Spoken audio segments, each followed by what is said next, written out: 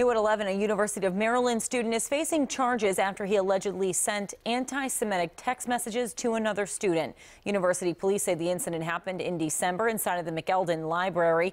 The victim says she received anti-Semitic messages on her cell phone from a person she didn't know. Detectives were able to name a suspect as Muqarrab Ahmed Abdullah. They believe he sent multiple messages to the victim because of her religion.